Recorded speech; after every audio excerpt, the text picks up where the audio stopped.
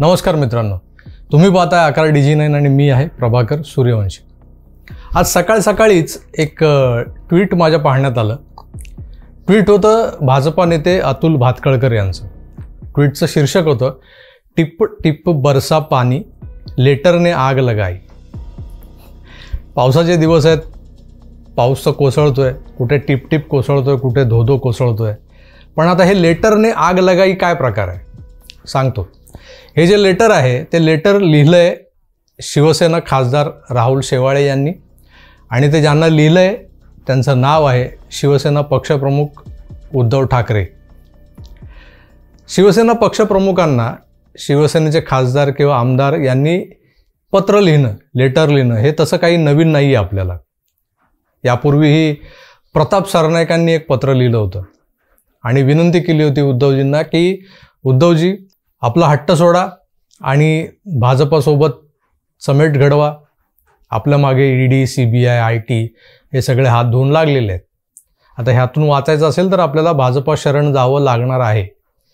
आणि हे पत्र लिहिल्यानंतर जो काही माध्यमांनी गहजब माजवला होता गदारोळ उठला होता तो आपल्या सगळ्यांना माहितीच आहे. त्यानंतर एक पत्र भावना गवळींनी अलीकडे लिहिलं होतं की उद्धवजी चला भाजपासोबत जाऊया. आता राहुल शेवाळे मुंबईचे खासदार त्यांनी असं काही याच आशयाचं पत्र लिहिलं पण हा आशय थोडासा वेगळा आहे मित्र. त्यांच्या पत्रात राष्ट्रपती पदाच्या जी निवडणूक येऊ घातली आहे एक आठ दहा दिवसानंतर त्या निव निवडणुकीच्या अनुषंगाने त्यांनी हे पत्र लिहिलेलं आहे. आणि त्या पत्रात त्यांनी स्पष्ट उल्लेख केला आहे की भाजपा पुरस्कृत ज्या उमेदवार भाजपाच्या ज्या उमेदवार आहेत श्रीमती द्रौपदी मुर्मू यांना आपण पाठिंबा द्यावा. आणि तशी विनंती केलेली आहे. थोडक्यात काय तर राहुल शेवाळे यांचंही म्हणणं असं आहे की आता आपण जे काही यू पी ए आघाडी किंवा ही काँग्रेस प्रणित जी आघाडी आहे त्या आघाडीकडे जे काही आपण झुकतोय तिकडे न जाता केंद्रातल्या राजकारणातही आपण पुन्हा आपल्या मूळ स्त्रोतांकडे आपल्या नैसर्गिक मित्रांकडे परत जाऊया. भारतीय जनता पक्षासोबत. तसं पाहायला गेलं तर राज्यात समेट झालेली आहेच. जरी खुद्द उद्धव ठाकरेंनी जरी केलेली नसली तरी एकनाथ शिंदेंच्या माध्यमातून आपण असं म्हणू शकतो की सेना आणि भाजप पुन्हा एकदा युतीत येऊन जे सरकार जनतेला अपेक्षित होतं जो जनादेश होता दोन हजार एकोणीस साली जनतेने महाराष्ट्राच्या जनतेने जो कौल दिला होता त्या कौलानुसार आता एक सरकार महाराष्ट्रात स्थापन होऊ पाहत आहे होऊ घातले उपमुख्यमंत्री मुख्यमंत्री यांच्या निव निवडी झालेल्या आहेत. विश्वासदर्शक ठरावही प मंजूर झालेले आहेत. अध्यक्षांची निवड झालेली आहे विधानसभेच्या. हे सगळं होत असताना जे काही मतदान झालं सभागृहात त्यावरून ट्रेंड क्लिअर आहे. महाविकास आघाडी नावाची जी काही ही तिघाडी होती तिचा अवतार आता संपलेला आहे. तर ह्यानंतर हे असं पत्र एका शिवसेनेच्या खासदाराने थेट पक्षप्रमुखांना लिहिणं याच्यामागे खूप मोठं एक प्रकारचं राजकारण आहे का? याच्यामागे काही आशय आहे का? याच्यामागे काही गहन विचार आहेत का? एवढं काही खोलात जायची गरज नाही आहे मित्रांनो. ही साधी सरळ भावना आहे. ही आज राहुल शेवाळेंनी व्यक्त केली आहे. फक्त भावना व्यक्त करताना जे शब्द वापरलेत त्या शब्दांना राष्ट्रपती पदाच्या निवडणुकीचा मुलामा चढवलेला आहे. विजय बापू शिवतारे आमदार मावळातले त्यानंतर शिवाजीराव आढळराव पाटील माजी खासदार या सगळ्या मंडळींचं आज जे काही त्यांची जी मनोभावना आहे त्यांची जी काही कुचंबना होत चाललेली आहे ते वेगवेगळ्या पद्धतीने व्यक्त करतायत.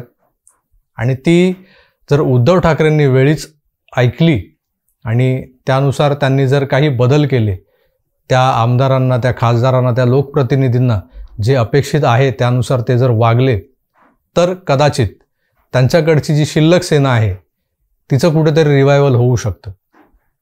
जर आज त्यांना एकनाथ शिंदे गटाला वेगळं पाडायचं असेल तर किमान त्यांनी या सगळ्या खासदारांचा या सगळ्या आमदारांचा माजी आमदारांचा माजी खासदारांचा जो आवाज आहे तो आता तरी ऐकायला हवा. त्यांचा रोख समजून घ्यायला हवा.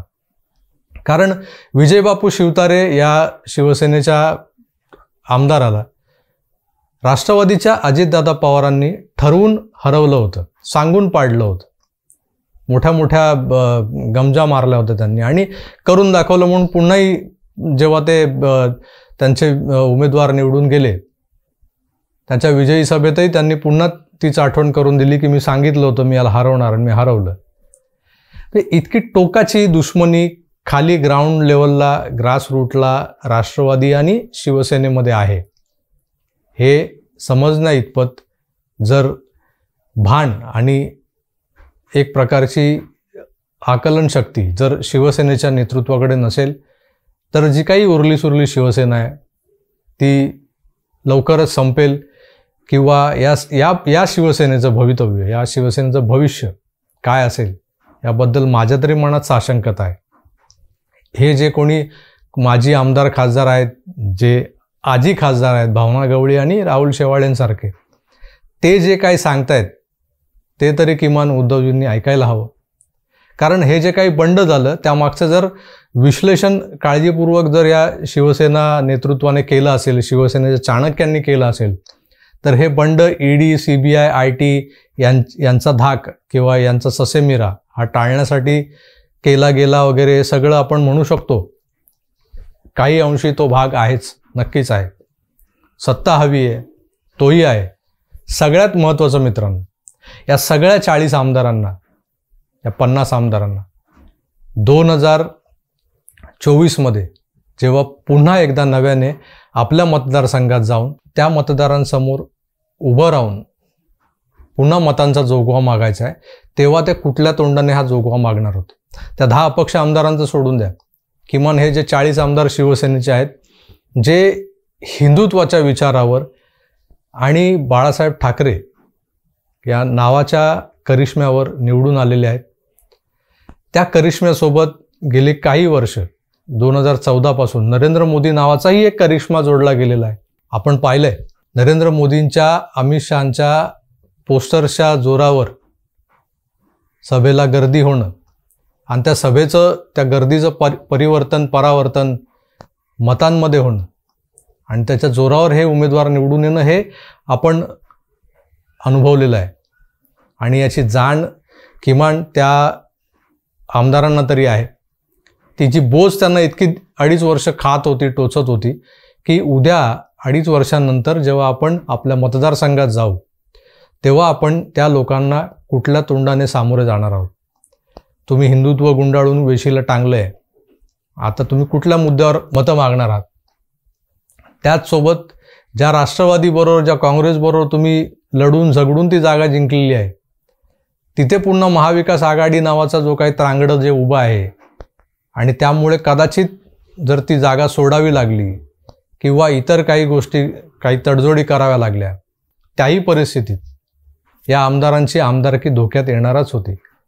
आणि ह्या सगळ्या आमदारकी वाचवण्याच्या एका विचाराने जे त्रस्त झालेले जे आमदार होते ते आज एकनाथ शिंदेसोबत आहेत. दुसरा तिसरा काही यामागचा विचार असू शकतो असं मला तरी किमान वाटत नाही.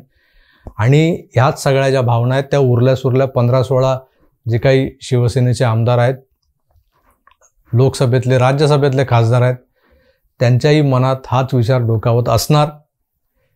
या विचाराचा हा जो काही उद्रेक किंवा या विचारांची या विचारांना वाट करून देणार देण्यासाठी या अशा प पद्धतीची पत्र जी लिहिली जात आहेत खासदारांकडून पक्षप्रमुखांना ते एक प्रकारची धोक्याची घंटा म्हणा किंवा एक सूचना आहे जी उद्धवजींनी ऐकली पाहिजे जी सूचना समजून घेतली पाहिजे त्यावर विचार करायला हवा आणि त्यानंतर फार समजूतदारपणे पावलं उचलायला हवी.